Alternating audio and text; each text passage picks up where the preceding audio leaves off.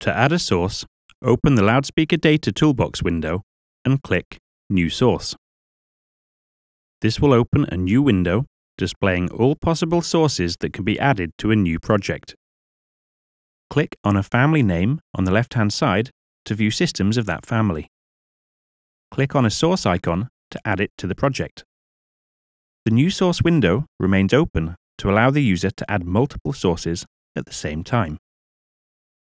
Close this window once complete.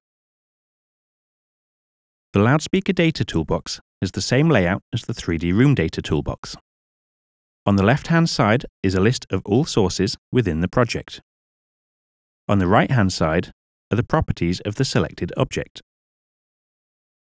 The properties of a source are split into two sections, physical deployment and electronic settings.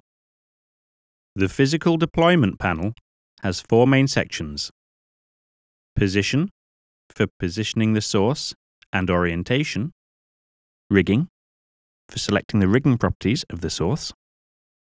Autosplay, for optimizing the interelement angles for all enclosures within the array. And Elements, for viewing and modifying all of the enclosures and rigging accessories within a source.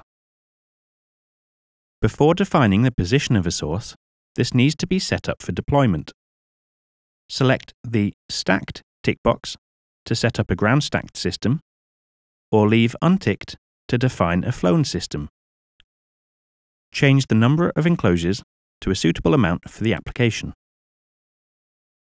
The position frame allows you to set the x coordinate, or left right position, indicated by the red axis, the y coordinate, or forward backward position, indicated by the green axis, the z coordinate, or up down position, indicated by the blue axis, the sight angle, or up down angle, the azimuth angle, or left right angle, and the roll angle, a rotation about the y axis, local to the source, is available on coaxial sources. A source can be positioned by entering a coordinate manually. Alternatively, click on the coordinate or angle label to open the source position window. The view will change depending on the label that has been selected. Clicking and dragging on the yellow circle moves the source about the view. Single clicking within free space will move the source to the selected coordinate. To modify the angle, click on the yellow line and drag this to rotate the source. The reference coordinate of a source changes depending on the source configuration. When a source is flown, the reference coordinate is always the center of the top front edge of the first enclosure within the source. When a source is ground stacked, the reference coordinate is always the center of the bottom front edge if the enclosures are directly on the ground. Alternatively, when bottom rigging is used, the lowest part of this will represent the z coordinate, as this will coincide with the height of the ground or stacking surface.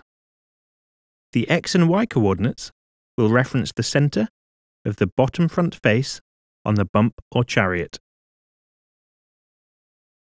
Coaxial sources always have their reference coordinate as the centre of the front face of the enclosure.